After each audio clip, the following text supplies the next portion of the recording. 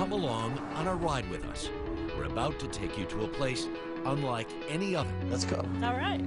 Where marijuana is legal and the scent of money is in the air. First time I've smoked a joint a long time. Well, take it easy. It hits really smooth. And I no longer have to feel like a criminal. That's right. I'm not doing anything wrong. Kevin and Rachel are pot tourists, oh so happy to be a mile high. Welcome to Colorado. In Colorado today, the start of a brand new industry. This is by far one of the biggest stories happening in the world right now. Once prospectors came here looking for silver and gold. This bonanza is different. There you go. And everyone is seeing green. That's a lot of marijuana. This is a small portion. We're going through right now 500 pounds a month, and we can't keep up. This feels like what I would imagine the industrial age slamming into the dot-com era all at the same time. If a state comes along and says it's legal, what do you think the message is to minors? Oh, no. It's, it's terrible. Lots of kids saying, well, it's legal, how bad can it be? I have grave concern for the country. It's still another intoxicant that is going to get out of control. There are so many unknowns about this really powerful marijuana that it's just too early for me to say how much trouble it's going to cause. We don't know yet. We jumped into this too quickly. Colorado is the first state to legalize pot. It won't be the last. A lot of people are going to lose their shirts, and a lot of people are going to make a lot of money. I'm Harry Smith. This is Marijuana in America, Colorado Pot Rush.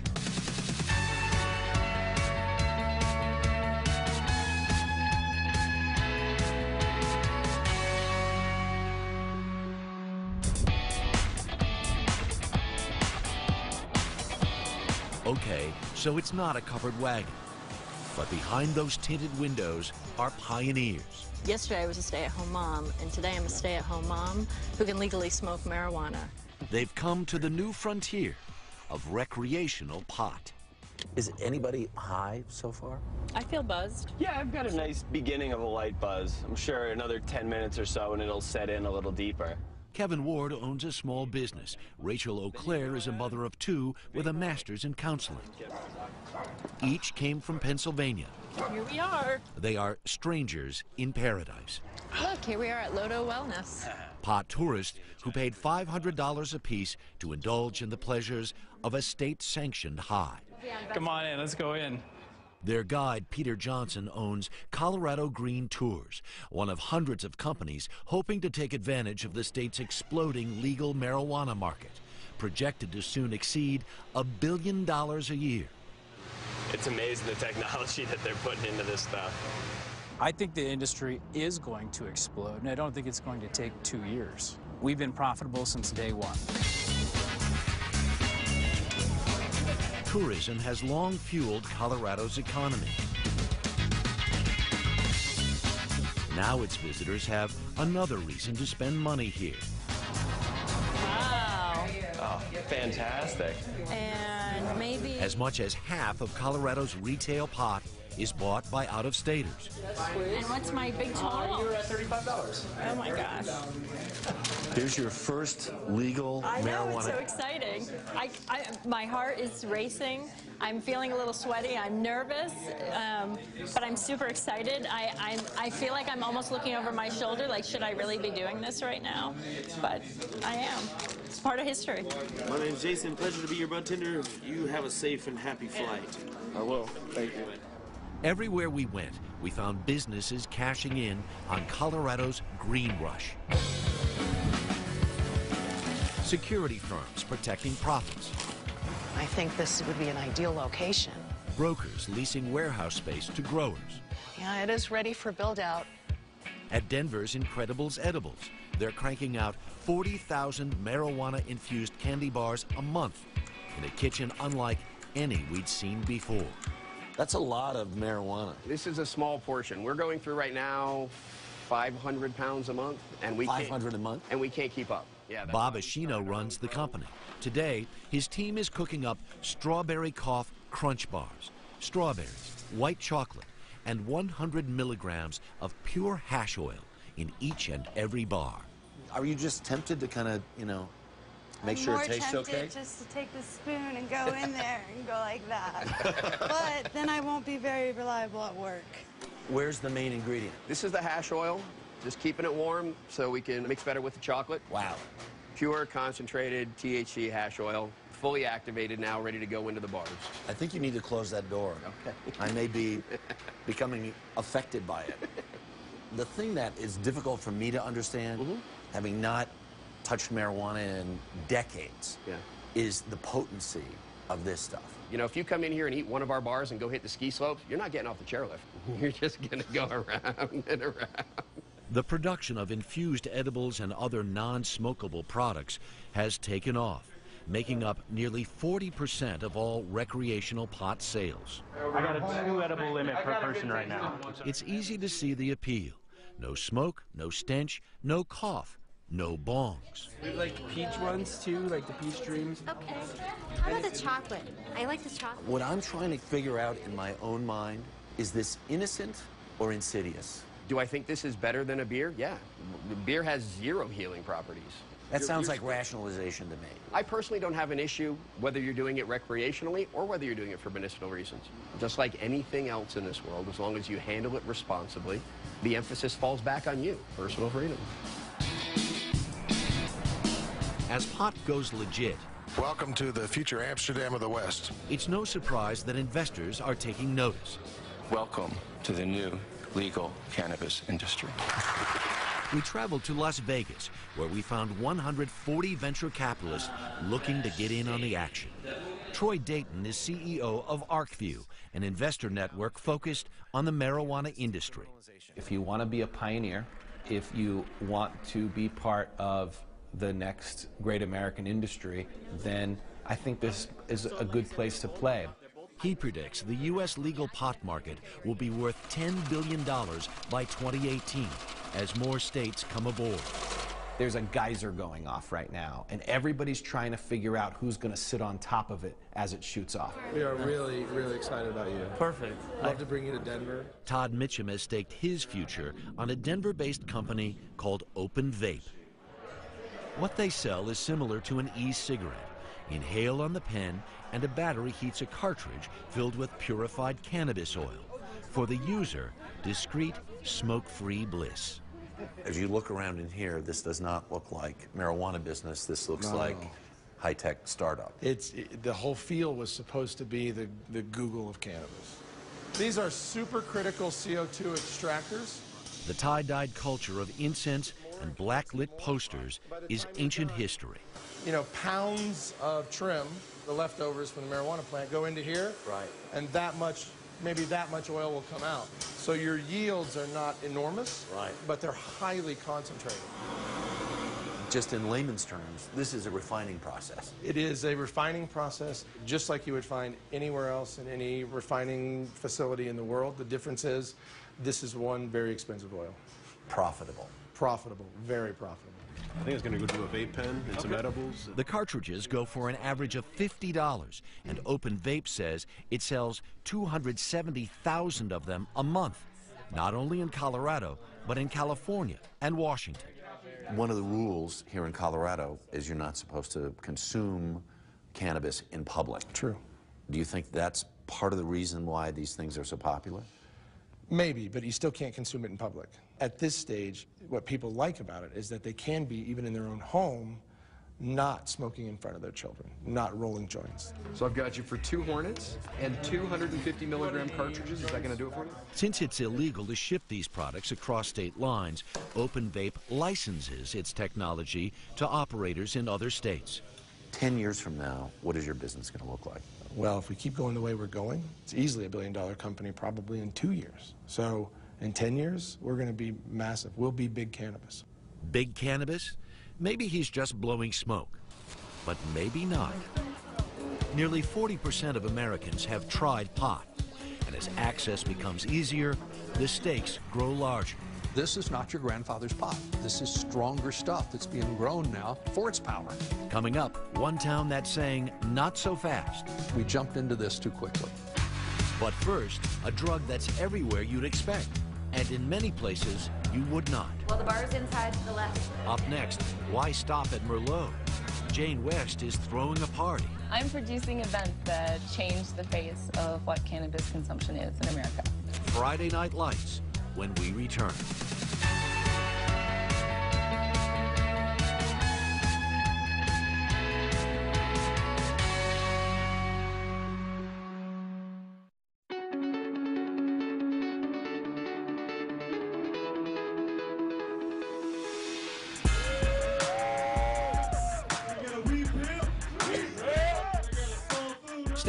Private pot club like the one we visited in Colorado Springs, and you might feel like you've landed in a kind of smoky stoner heaven.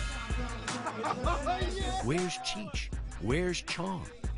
By now, even they have moved on. To places like this.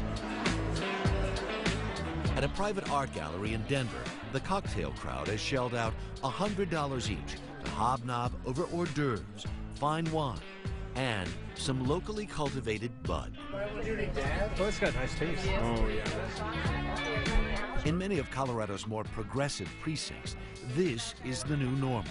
Freed from the seedy confines of basements and back rooms, pot is becoming a fixture of polite society.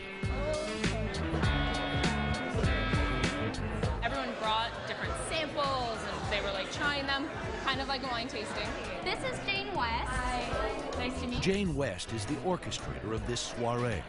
I put together this idea and this event, and there are 150 people. So clearly, there's a market for this, and there are a group of people that want to be consuming cannabis together and having big social parties.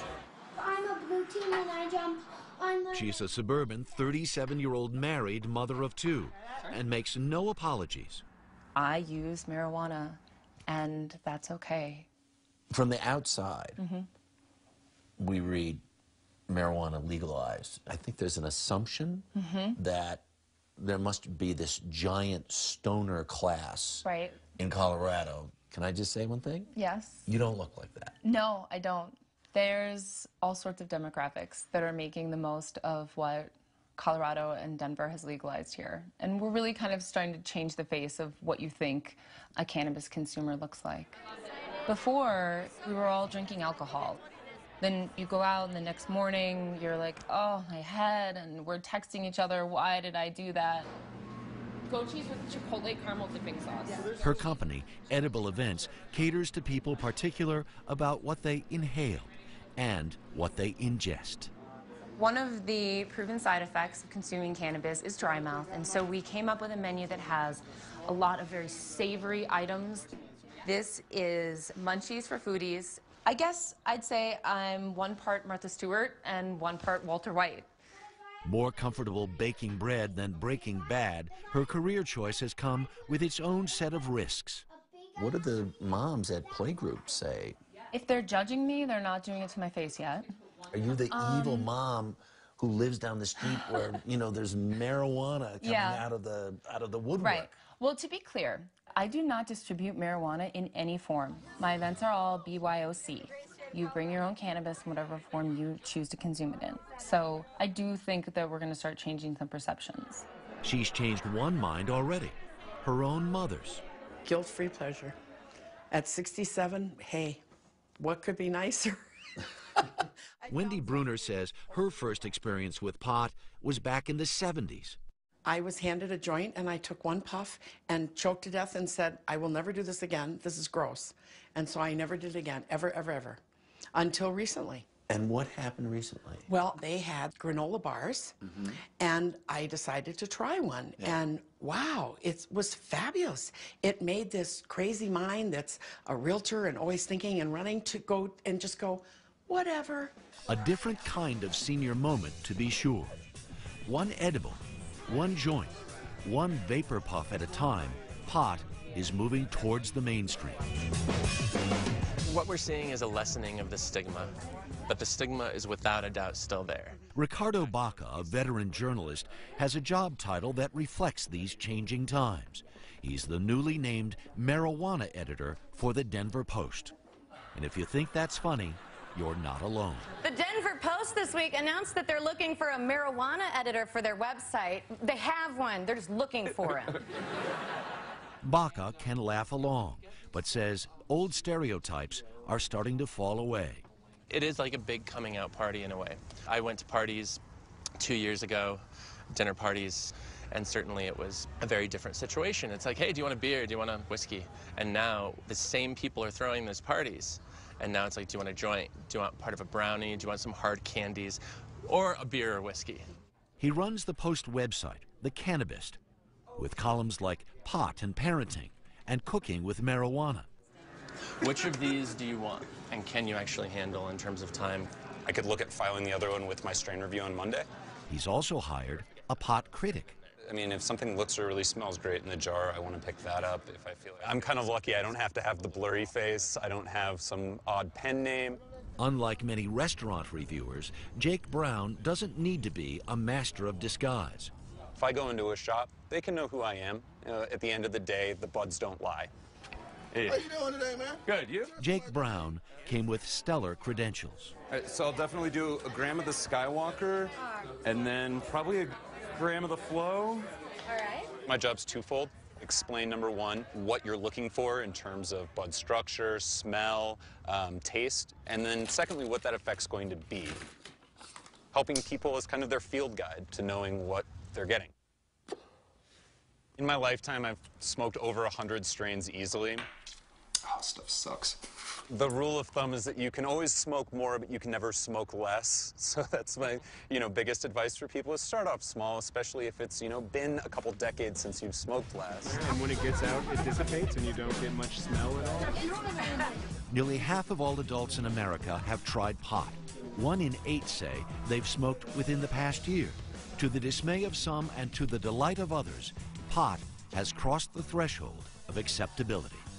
Is that what this really is? Is that this has all become gradually normalized here, while in a lot of the other parts of the country we were just like, what are they doing? I really think this is just the beginning of something that's about to be very normal.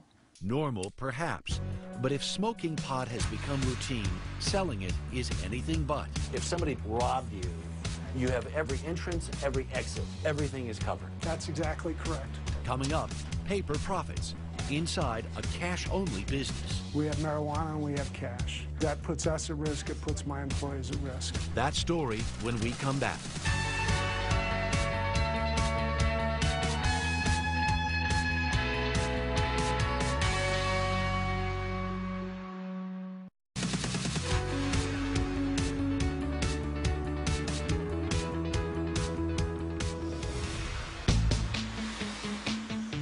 History making.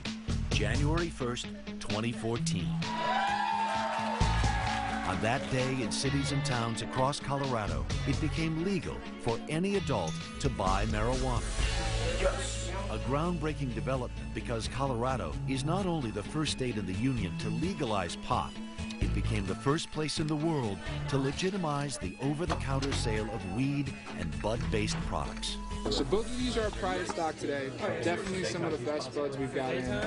Five years ago, Brian Ruden gave up his law practice and opened a medical marijuana dispensary. Thanks to Colorado's new law, he can now sell to people who simply want to get high.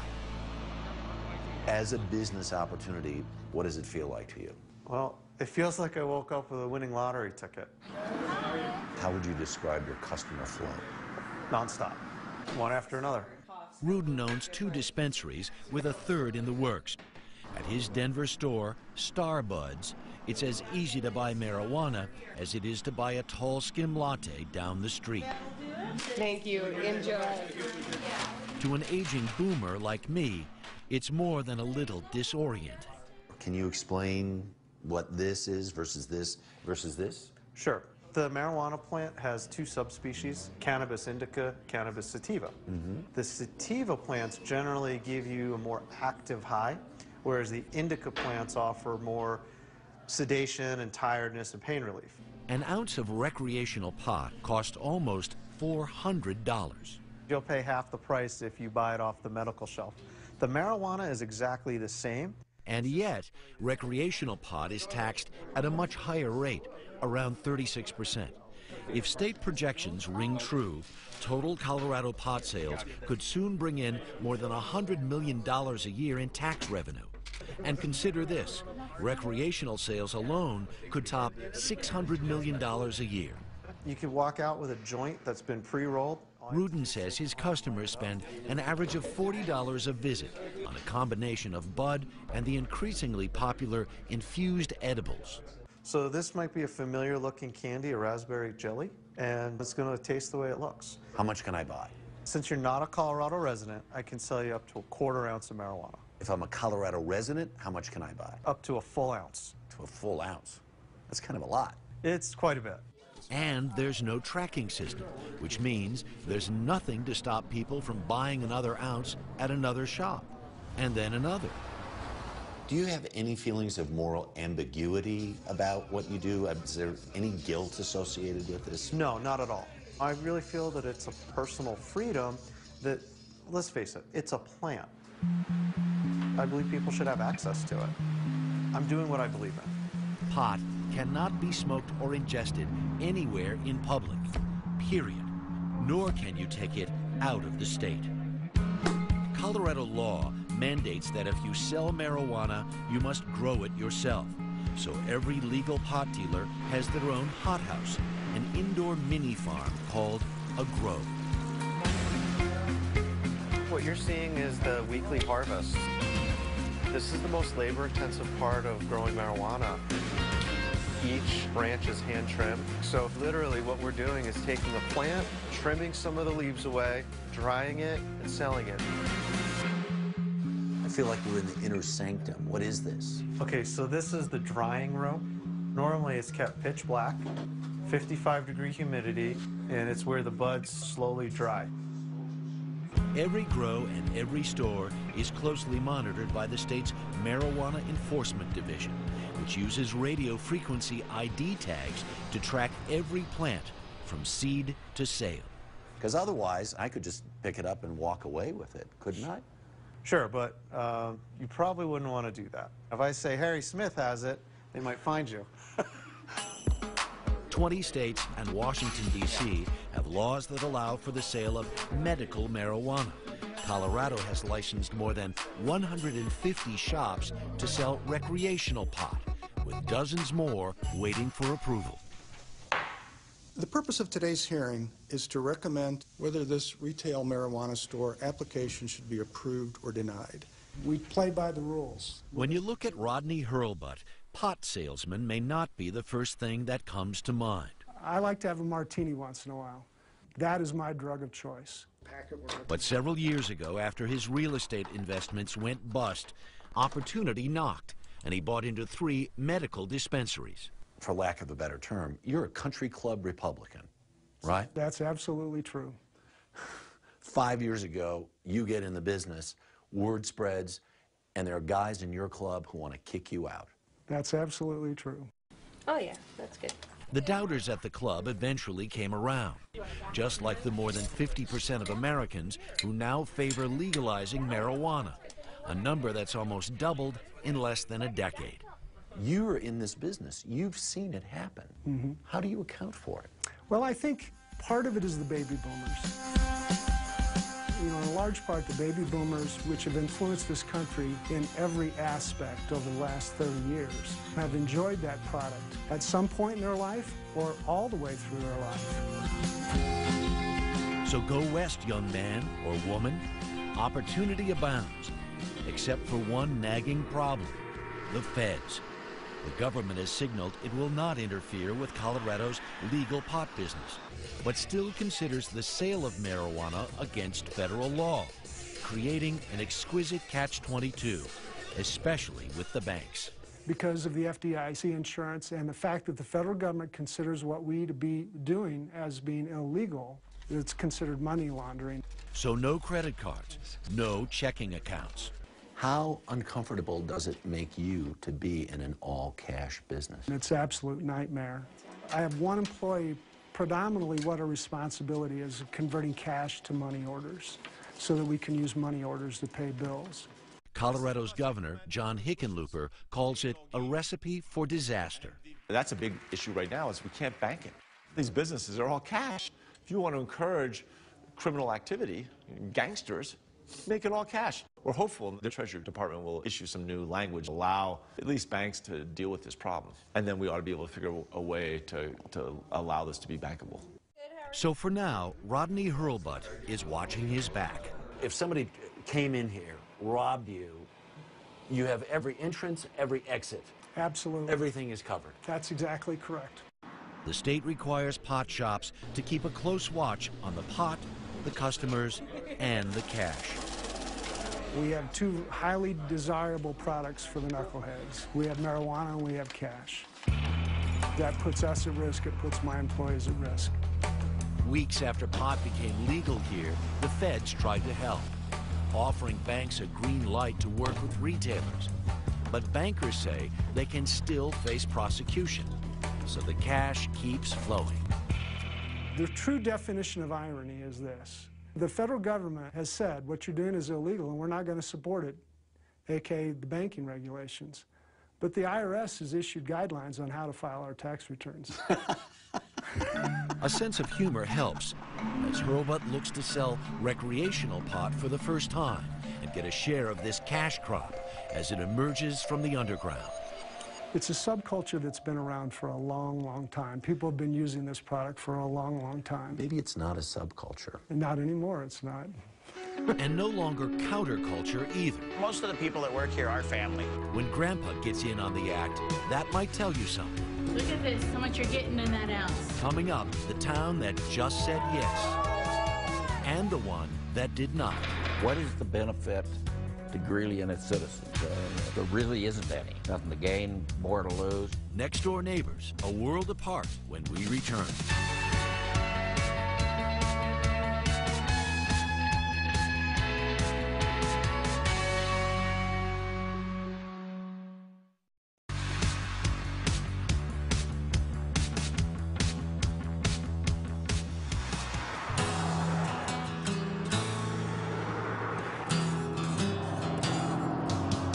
Up the road 60 miles northeast of Denver, and you come to a place of cattle ranches and oil fields. It's a little like stepping into the Old West. And like the Old West, neighbors here don't always see eye to eye. While one town embraces the legalization of marijuana, So we have two caviar joints and two regular joints. another is leery. We're legalizing marijuana today. Okay, what's the next drug we're going to legalize?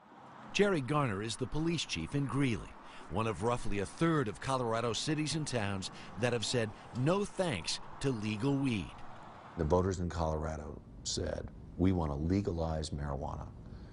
What did you think when you heard the results of that vote? I thought we're moving way too soon because there's so much we don't know about the stronger pot that's available out there today. We don't know what effects it's going to have on youngsters that get a hold of it. I don't really need more drug related problems than I've already got. It's a position that's in keeping with Greeley's roots, which go back to its founding in 1870 as a temperance colony. Roots so strong, it didn't legalize the sale of liquor until 1969.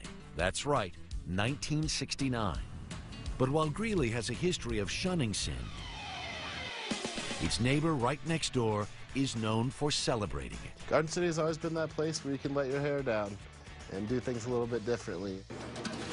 Looking crispy, Joe. Looking crispy. Brian Seifried is the owner of the Wing Shack and mayor of Garden City, a place with a colorful past. There's always some rumors of a bit of a seedy background when there was some gambling and houses of ill repute and, and even rumors of some tunnels leading into Greeley so uh, people could enjoy Garden City's benefits without being seen. So Garden City has always been the place where folks in Greeley and Weld County came to sin. Yeah, I guess you could say it that way. I like to call it have a good time. It was founded by a bootlegger named A.F. Ray.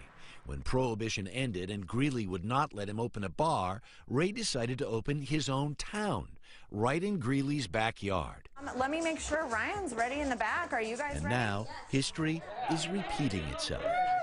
Barely 11 o'clock on a January morning in Garden City. There's a line out the door to buy legal recreational marijuana. the first sale in northern Colorado. We are open for business. It's one of four shops in a town less than a mile long. We are one of the largest ones up here in northern Colorado. Two blocks away, John Rotherham owns Nature's Herbs and Wellness. For this part of Colorado, is Garden City sort of potopia? yeah, I guess you could say that. Um, Garden City's known for its vices. It was like the watering hole for northern Colorado. And it's stayed true to that nature ever since? Yes, um, they embraced medical marijuana when it came along. It went to 14 different cities, and everyone was placing moratoriums on them. And uh, Garden City, they were one of the very first ones to embrace it and, and license it. Embrace it they have. With 45 workers, Rotherham is Garden City's largest employer. It's a family enterprise where mom, dad, Aunt Judy, and Uncle Elmer all gather to trim bud. Welcome to the Heartland.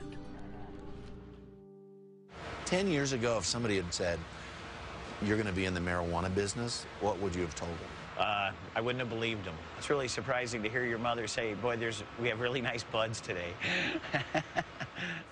Rotherham has had to build a new greenhouse just to keep up. You don't have enough room to grow the marijuana you want to grow in order to satisfy the customer demand. Right now, I don't. Over the next year, we're probably going to triple to quadruple in size. Do you want to be a marijuana mogul? Um, I never planned on being this big, but you know, you just have to grow with um, the demand. Everything is $30 a gram. Each joint and edible sold means tax money for both the state and towns like Garden City. All of our prices are already including the tax. Where taxes levied on medical marijuana already fund a third of its budget. With new retail sales, the mayor says that number will only rise. So is this the main drag?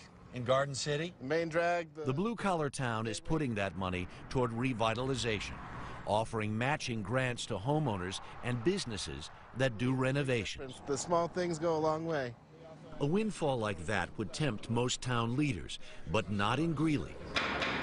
Tom Norton is the mayor. To have a community based on a tax structure that depends on the sale of marijuana I think is inappropriate. While Garden City cashes in, Greeley has decided the wages of sin just aren't worth the trouble. When you look at Garden City, does it worry you that they're right down the street? It troubles me that there's that much marijuana for sale that close. One of the things that we've heard quite a bit lately is that marijuana is no worse than alcohol.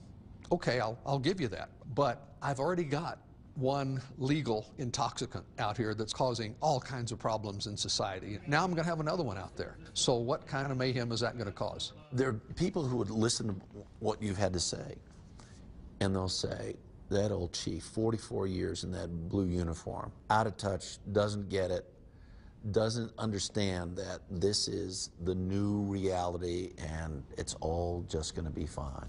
I have no moral worries, no religious compunctions that marijuana is the devil's weed, is evil, and all that.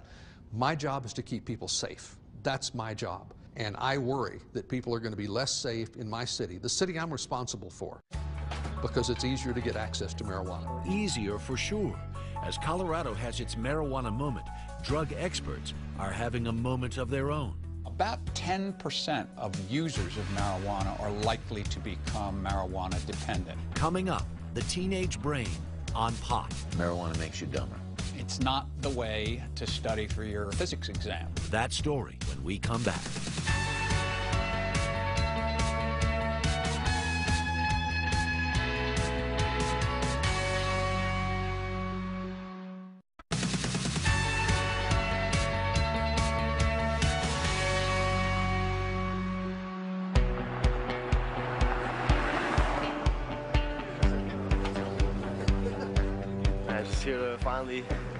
Get some legal marijuana. You can see the line. Everybody is just so excited for this. Can't wait. This is definitely, Colorado was the first state to actually legalize freedom. If you're looking for a villain or a hero in the liberalization of marijuana laws in Colorado, it's this man, Mason Tvert. Our goal is to end marijuana prohibition and replace. For the last decade, he's been the public and provocative face of legal weed, like here on Headline News. You do admit that Uh, yeah, it's so addictive. is sex, so are video games. The, the thing is, is that Well, you just I- I you do not with like you. the people that use I- I marijuana. disagree with you. You just I don't like people who use marijuana, and you want No, to see them that's not punished. it. You know, to wake up and think of marijuana being illegal was crazy, and now things just seem a little more sensible. Did you think this would all happen as quickly as it has? As the communications director of the Marijuana Policy Project, Tvert has been a master of savvy marketing and mischievous self-promotion. He used those skills to turn what was a stoner's pipe dream into an issue of freedom and fairness. I'm sure there are people who look at you and say, that Mason Tvert is public enemy number one. He's this merry prankster, and he's ruining our country. Are you that guy? I'm confident that I'm playing for a team that's doing the right thing, and fortunately, most Americans agree that I am. So I'm perfectly comfortable with that. We think the writing is on the wall. Along with others, Tvert identified a clever argument, and he sold it brilliantly. Polls showed that people who believed pot was less harmful than alcohol also thought it should be legal, so he pounded the comparison. The notion of prohibiting the use of marijuana while allowing and even encouraging the use of alcohol is not rational on any level of government. He even compared the two in a challenge to then Denver Mayor John Hickenlooper. We said, hey, I'll meet you at high noon in front of the courthouse and bring your drug of choice, and we'll bring some marijuana, and we'll see which one actually is more harmful. Hickenlooper did not show, but the media did and found the stunt irresistible. For everyone's entire life, they've been told marijuana is a bad thing that should not be used by anyone at any time. And we've seen people getting over that mindset and starting to recognize that marijuana is not as harmful as we were once led to believe. John Hickenlooper, now Colorado's governor, says legalizing pot is a big gamble. I opposed, and most elected officials in Colorado opposed Amendment 64. You don't want your state to go it alone and do something that's never been done before and immediately become the butt of late night comedians on TV. Stoners took a moment to thank Governor Hickenlooper. Then they spent a few hours just saying the word Hickenlooper. That kind of branding where people start saying, oh, you guys are stoners, that could be terrible for us. Are you concerned that Colorado becomes known as the stoner state? You know, we've had three new Fortune 500 companies, global headquarters here in the last four years. We're very proud of that. Some employers are going to, you know, think twice. So these are the two cabinets we have for recreational. The governor is acutely aware that being the first on this path means his state has no blueprint to follow. I think most of us recognize that this is going to be one of the great social experiments of the next century. It really is an experiment. It is. I spent 16 years in the restaurant business, and it's like opening a brand new restaurant. But just opening and having a great first few weeks, that doesn't mean your restaurant's going to succeed. There are plenty of worries that highways will now be crowded with people who are driving high, and that legalization will not mean the end of illegal pot sales. We spoke with one dealer in Boulder who did not want to show his face. He says business is actually good, quite good. There's legalized sale of marijuana now in Colorado. Has that affected your business? Definitely hasn't. Because it's overpriced. It's being taxed, you know, way too high. Dispensary, recreational out here, it's about $60 an eighth. And coming out here, getting an eighth for about 25 30 It's a big difference. And in a month, you can make about 10,000, 20,000, just easy. And the dealer says he is definitely not nervous about the police. I mean, cops are chilling. They're looking for meth dealers and heroin dealers. That's what they're really worried about. So from a law enforcement perspective, you've got no worries? Nah, no worries. At the same time, you just assume we protect your identity. Yeah. While the dealers keep on dealing and the legal shops keep selling, I haven't smoked in 25 years. the governor wonders how much of this pot could end up in the wrong hands. Well, as a parent yourself, I'd just be curious. If a state comes along and says it's legal, what do you think the message is to minors? Oh, no, it's, it's terrible. Lots of kids, and we've got surveys now that demonstrate this, that, well, if it's legal, how bad can it be? Scientists are very concerned. You take this high potency, really intense THC, and you give it to a kid whose brain is still growing, That rate of growth, they think, affects things like long-term memory. That's very disconcerting. People who should not use marijuana include all adolescents because their brains are developing and it is Thomas McLellan was a deputy drug czar under President Obama and has studied addiction for more than 30 years. disturbingly there seem to be findings that over the long term seems to reduce IQ drop of 8 points in IQ that's not trivial Marijuana makes you dumber. it's not the way to study for your uh, uh, physics exam that's right A lot of people view marijuana as benign and they think of it as something you can't get addicted to. you can become addicted to marijuana. About 10% of users of marijuana are likely to become marijuana dependent. Is it a physical or psychological addiction? It is both physical and psychological. They've done MRI studies that show significant effects of marijuana acutely and over the long term. And you don't need to be a rocket scientist to see people who are smoking regularly just don't have the motivation that they used to. The unknowns loom large. If legalization of marijuana is a social experiment, then Colorado is the petri dish on which other states are keeping a close eye. 20 states and the District of Columbia already allow medical marijuana. Like Colorado, Washington state will allow recreational pot sales later this year. Alaska, New Hampshire, Oregon, and Rhode Island may soon follow, and several more could vote on recreational pot sales in 2016. Colorado's the first domino. You're in the midst of this social experiment.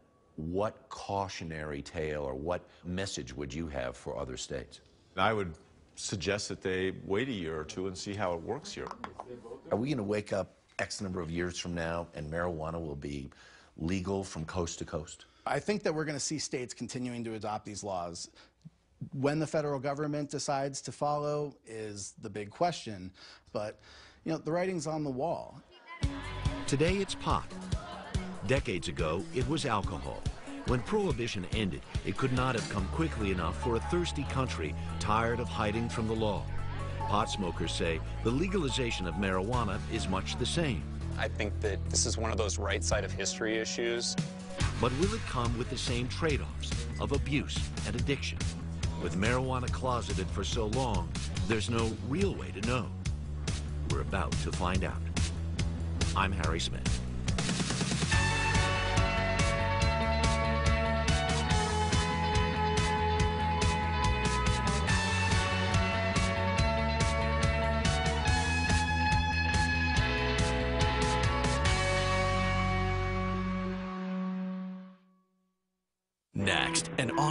Presentation, an all-new look at how Rocky Mountain legal weed is changing America's future and creating a new financial high. Marijuana in America, an encore presentation.